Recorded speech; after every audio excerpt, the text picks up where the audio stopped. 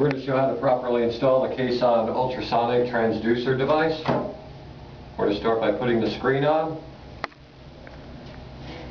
Then we take our spacing frame.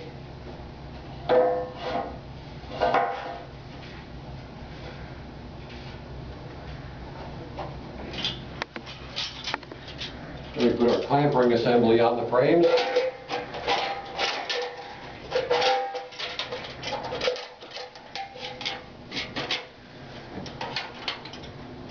Making sure the clamp is properly seated.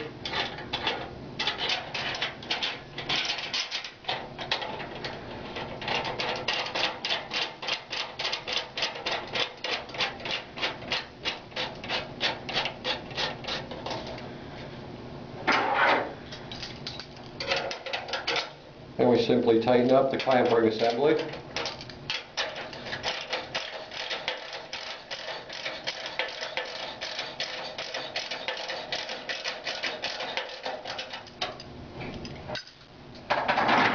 Once the clamp is tight, then we'll install the Kason transducer, the ultrasonic transducer.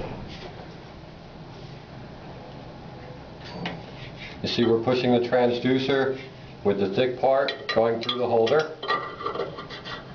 And we just let that slide in there. Then we take our disc that'll make contact with the screen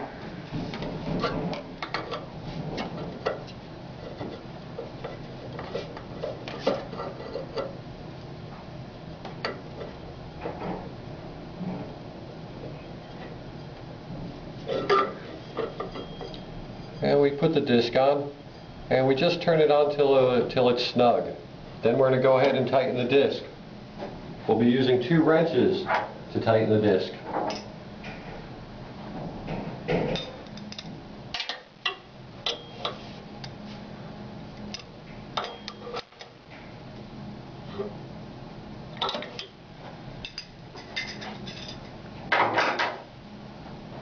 Once the disc is snug, we go ahead and we'll loosen the back nuts that hold the holder in place. And we just straighten that out. You can see the transducer moves nice and easy in and out of the hole.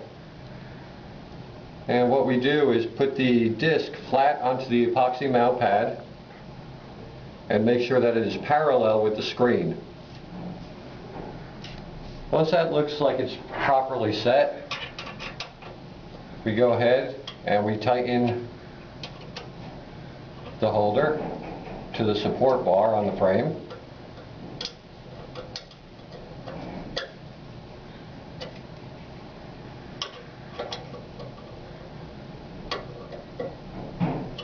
And we just snug that up. Then we'll gently press on the transducer. As you can see, I'm not holding the stem at all. I'm holding the holder portion and also just plunging down on the fat portion of the transducer. We don't want to cause any damage by this stem twisting or turning. So we gently press down on that. As you can see, the screen just depresses very slightly. Then we get our wrench and secure the transducer.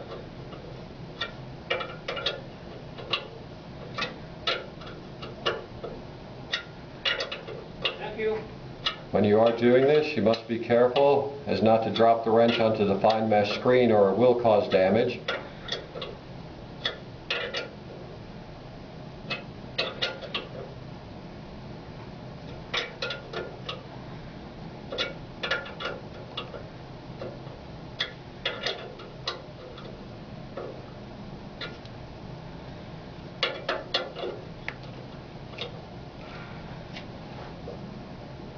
And we make sure that's nice and tight and secure. After the disc is installed, we look to make sure it's, it's mounted on the screen properly, that it's making good contact. And it, it does need a little more tightening, so let me just tighten it up a little more.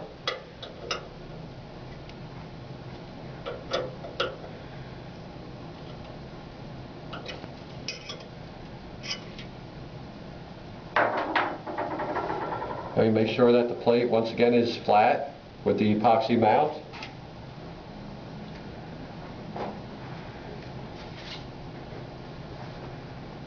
And we'll just run a piece of paper along there just to make sure there's no gaps.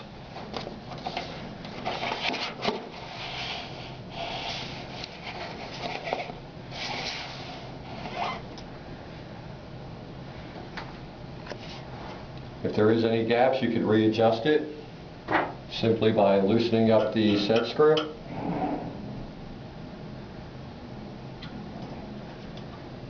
And readjusting.